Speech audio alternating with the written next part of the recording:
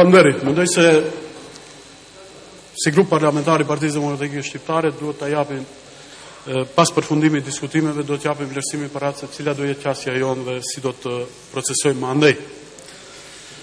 Mirëpo për fat të keq ky, ky debat konfirmoi atë për të cilën ne si parti dyshonim se mund të ndodhë sot këtu në në parlament. Ne vlerësojmë se situata e krijuar në masë të madhe është nga mosinvestimi në ato vendbanime të cilat u prekën.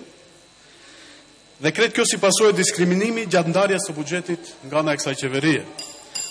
Ne vlerësojmë se qasja selektive e institucioneve që veç më është evidente në vendbanimet në varësi të asaj se a janë shqiptare apo vendbanime maqedonase, do të vazhdojë edhe përskaj kësaj seance dhe miratimit të çfarëdolloj konkluzave.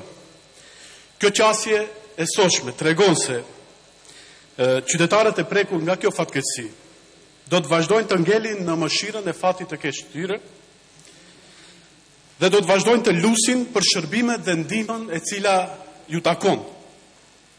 Pa asnjë dyshim si qytetarë të këtij të këtij vendi dhe si njerëz të cilët tërë jetën e mbushin buxhetin e këtij shteti me të cilin kjo qeveri tani po siç duket po po tallet.